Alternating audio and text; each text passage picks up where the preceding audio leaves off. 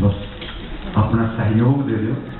اس کی دھیان تاکہ کسی کا پلا ہو سکے۔ چھاچ بھی پھونک پھونک کر پیتا ہے۔ چھاچ بھی پھونک پھونک کر پیتا ہے۔ جو کوئی دودھ سے جلا ہوتا ہے۔ منزل چونتی ہے قدم اس کے، جو شخص کانٹوں پہ چلا ہوتا ہے۔ منظر چومتی ہے، قدم اس کے جو شخص کانٹوں پہ چلا ہوتا ہے، کبھی گریز نہ کرنا، بھلا کرنے سے، بھلا کرنے سے خود کا بھلا۔ نانک نام چاہتی کرو تیرے کنے سے پتا ہے نا سارے؟ تو بہت یہ گلا نہ کرنا اسے سارے گنے جانے پر اسے مجھے ہونے لوڑ نہیں ہے۔ میں شکشا دینے واسطے دینے ہے کیونکہ میں تھا یاد سکھیات کی ودیات کی ہوں۔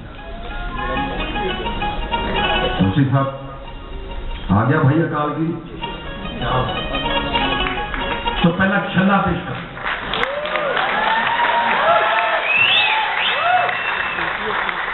بڑے بڑے۔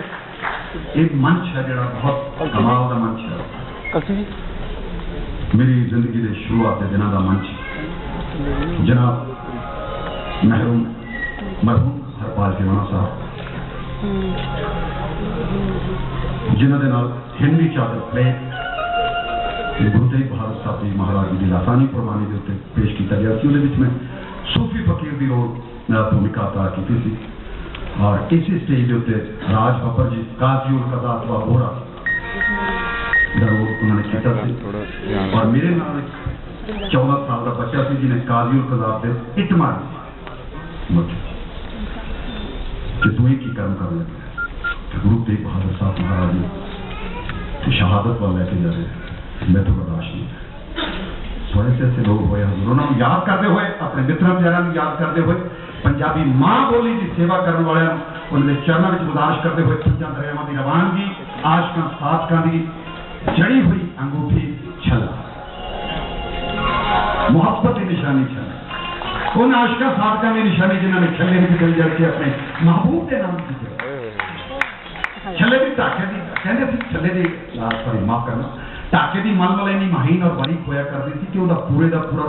ਥਾਨ ਇੱਕ ਛੱਲੇ ਵਿੱਚ ਨਿਕਲ ਜਾਂਦਾ। ਨਿਕਲ ਜਾਂਦਾ ਜੀ। ਪਰ ਕੁਰਬਾਨ ਜਾਈਏ। ਉਹਨਾਂ ਸ਼ਾਇਰਾਂ ਪ੍ਰਕਾਰਾਂ ਦੇ ਜਿਹਨਾਂ ਛੱਲਾ। ਆਪਣੀ ਸਾਰੀ ਕਲਚਰ ਨੂੰ ਛੱਲੇ ਵਿੱਚ ਦੀ ਬੋਲਿਆ ਸੰਦਰਬਾਦ ਦੇ ਭੋਲੇ ਤੋਂ ਵਾਲੀ ਕੁਰਬਾਨ ਇਸ ਸੰਦਰਬਾਦ ਦੇ ਭੋਲੇ ਦੇ ਵਿੱਚੋਂ ਇੱਕ ਨਿਸ਼ਾਨੀ ਹੈ। ਇਹ ਵੀ ਸੀ ਉਂਗਲੀ ਕਰੇਂਦੀ ਡਾਡੀ ਪੀੜ ਦੇ ਛੱਲਾ ਮੇਰਾ ਕਿਸ ਹੈ ਉਹ ਵੀ ਛੱਲਾ। ਇਹ ਵੀ ਛੱਲਾ ਉਹ ਜਿਹੜਾ ਮੇਚ ਆ ਜਾਏ ਹੱਥ ਜੋੜੇ ਜੇ ਕਿਸੇ ਦਾ ਕੰਮ ਬਣ ਜੇ ਹੱਥ ਤੋੜ ਤੜਾਉਣ ਦਾ ਕੀ ਫਾਇਦਾ? ਬਿਨਾ ਬੋਲਿਆ ਜੇ ਕਿਸੇ ਦੀ ਬਾਤ ਹੋ ਜੇ ਰੌਲਾ ਕੋਠੇ ਤੇ ਪਾਉਣ ਦਾ ਕੀ ਫਾਇਦਾ? ਵਾਹ ਵਾਹ ਵਾਹ ਜੁੱਤੀ ਸੋਈ ਜੋ ਯਾਰ ਦੇ ਮੇਚ ਆ ਜਾਵੇ ਪੈਰ ਵਧਾਉਣ ਦਾ ਕੀ ਫਾਇਦਾ? ਜਿਹਦੀ ਗੱਲ ਹੀ ਸਮਝ ਤੋਂ ਬਾਹਰ ਉਹਨੂੰ ਗੱਲ ਸਮਝਾਉਣ ਦਾ ਕੀ ਫਾਇਦਾ?